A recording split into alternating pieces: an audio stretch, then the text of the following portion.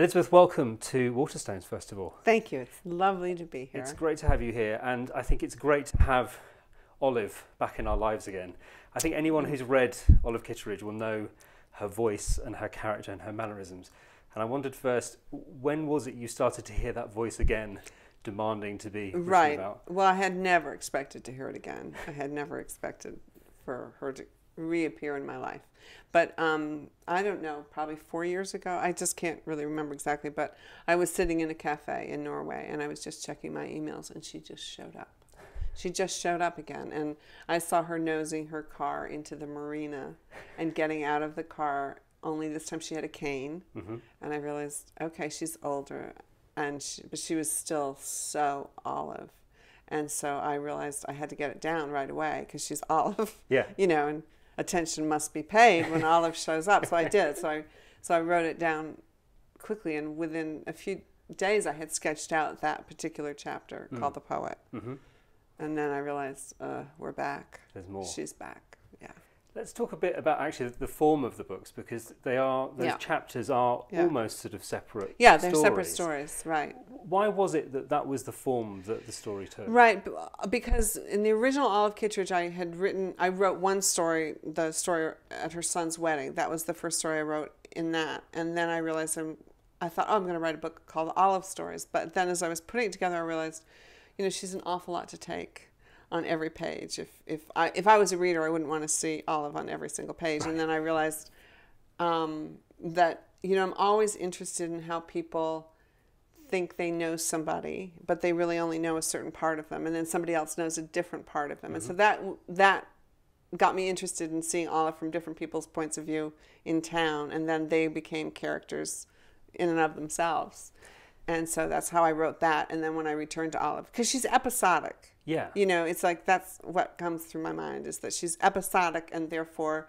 she can only have a certain amount of stage time, because she's a lot. And it does allow you to, I suppose, to shine a light or to put the focus on different people from the same community. Exactly, and the community books. itself almost becomes a character. Yeah. When I sit down to write, I'm always thinking about the character. Yeah. I'm always concerned with the character first and foremost.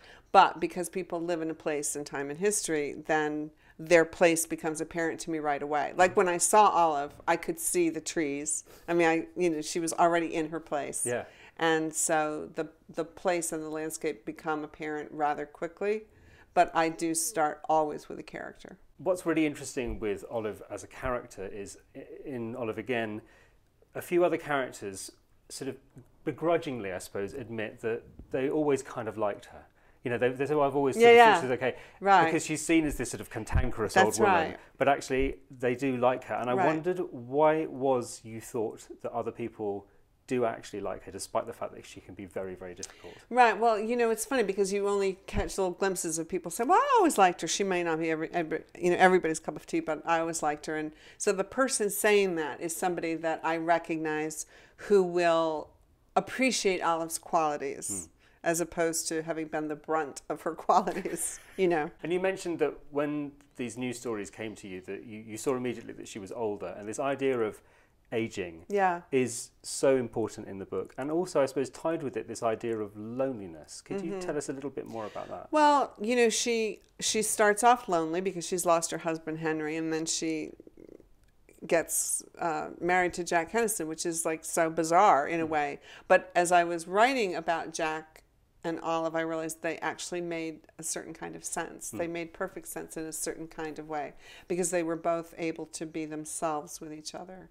And so, and then she loses Jack, hmm. and then she begins to be have a different level of loneliness after that. And then, at the end, she's not as lonely because she's found a friend. But I think that there are many people in well in the world, but in the con- in my country and hmm. I'm sure yours as well, who hmm. do end up living alone and find the days longer than they used to find them. Yeah, there's an interesting conversation she has with a, a Somali nurse Right. where That's there's a difference in culture Yeah. where she talks, the Somali nurse is talking about how families stay together. That's right. Whereas in Western societies, as Olive says, you know, my son gets married, he leaves home, and that's it. You know, That's right. it's a re- And that was true. I mean, uh, when I wrote that, I realized oh, that's actually true. Yeah. The thing uh, uh, also that struck me as well was there's something about um, writing older women. So again, when I was filming with another author, Bernardine Evaristo, who was one of the joint winners of the Booker Prize this year, Yeah. and she said that the book Girl, Woman, Other that she had written, she could only have written now that she was older Right. because she wanted to write about older women. And she said when you're young, authors tend to write old women as kind of mad old bags, and that's all they are. Right. And she needed more time to Right. sort of think about what it is to be an older woman. Right. And you, of course, were published when you were in your 40s and you've Right. been writing. I just wondered whether you Right. felt that that maturity Yeah. has helped you to write these books. Absolutely, it has because you know I've gotten older, and so Olive gets older. I mean, she's older than I am, obviously, but Yeah. but my understanding of the world and just watching because I'm always watching and observing people all the time, and um, and there are plenty of people, particularly in Maine, as I said, anywhere, but you know, in New York, they're harder to watch in their homes, you know, because they're they're on the sidewalk, and you can tell, oh, that person is struggling because they're older or something like that. But in in Maine, I have been able to observe and watch and seen people who are going through this kind of tra- these kinds of transitions. Allied to this idea, I suppose, of wisdom that comes with age is also that capacity to be surprised. Olive is still constantly discovering Exactly. things about Exactly.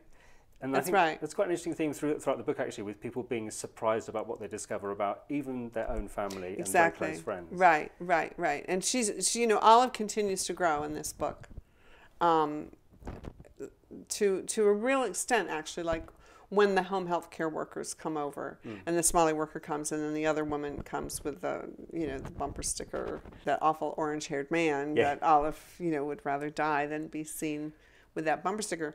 But um, but that but Betty, who has the bumper sticker, it, it was very interesting for me as I wrote that story to realize how that story was going to turn out because Olive actually, she's upset with Betty, but then she realizes, well, Betty has her life. Mm. So tell me about your life, Betty. And I thought, oh, look at you, Olive. You're actually, you know, really asking somebody to tell them about their lives. And Betty just says, oh, it's just a life. And she said, well, it's your life. I'd like to know. Hmm. And and then so that was an interesting story for me. And I realized that Olive is growing. She's continuing to grow, and she's able to, at that point in her life, actually be curious. Yeah. I mean, I think she's always been curious, but you know, she's got the wherewithal now to act on it. Let's say so there's a difference between the, the curiosity of, of observing somebody and then actually engaging yeah, them in conversation. exactly, right, and saying, "Tell me." And then the last line in that story, I thought, "Oh, oh, oh now it works as a story."